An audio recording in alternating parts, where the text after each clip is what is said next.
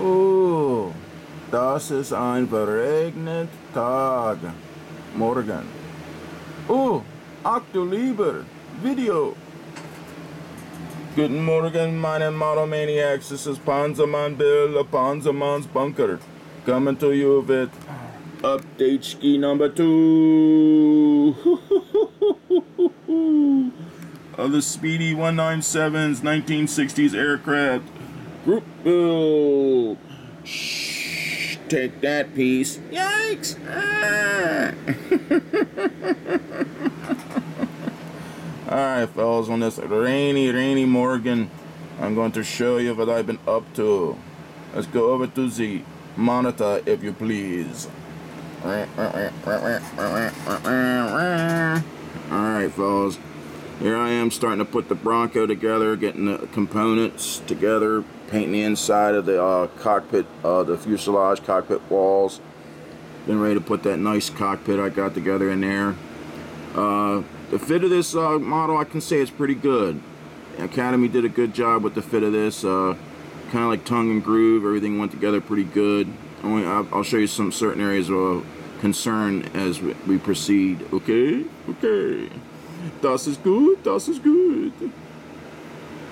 Jawohl, oui, da, si. Alright, you can see the wings and the fuselage together. The uh, cockpit fit pretty well in there, not too many problems. Okay?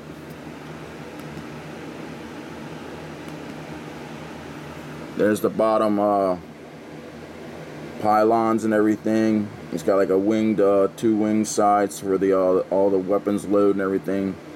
Little filigree things like the uh, machine guns I'll put on late, you know, later. I'll be handling a bunch of little filigree type stuff while I'm building it. Don't want to go breaking it. Mm-hmm. All right. All right, let's go back. Got a couple more little things to show you. Since this uh, kit was built,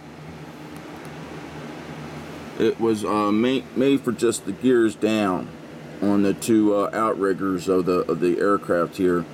Uh, here's the kit part. I put the two doors together, cut off the tabs for it to you know be in open position, and it just didn't quite fit the space across there. So of course I had to break out the styrene. Yeah, use the old styrene, Bill. That's a good thing. Good good job. All right. And here's the uh, styrene parts fit in there, you know, so I can have it in a flight mode. I'm gonna have this sucker in a flight mode. All right, let me show you what I got so far, fellas. 60s aircraft root build. Woo! All right, here she is. Major construction's done. You look it over. Got a cool look to the plane. I like the uh, the twin boom of it. Pretty cool looking. Cockpit's all in there nice. Here's the uh, landing gear doors I had to fit in there because I want to have it in the flight mode. So a little bit of uh, extra work, a little bit of scratch building to have this sucker in flight mode.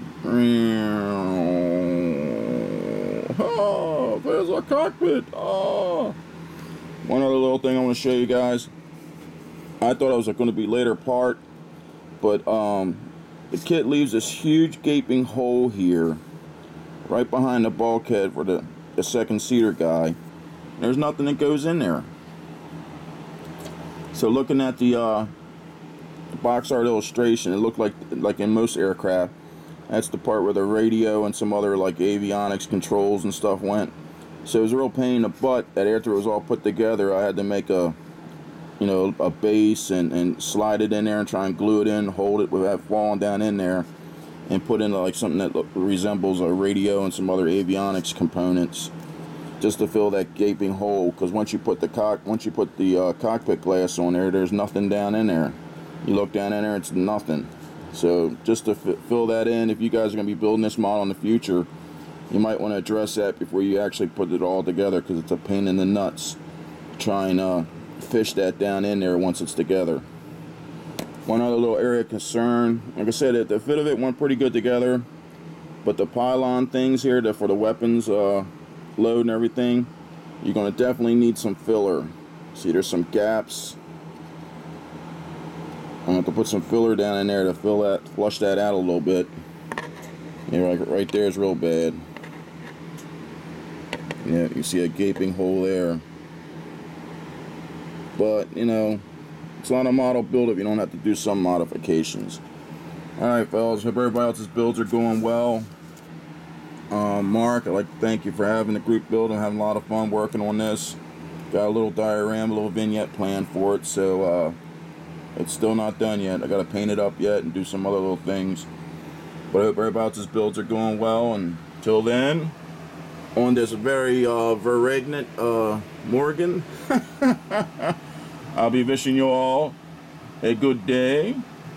Till then, this is Panzerman Bill of Panzerman's Bunker saying, Auf Wiedersehen, mein Damen und Herren. Hubba hubba. Tschüss. Giggity giggity.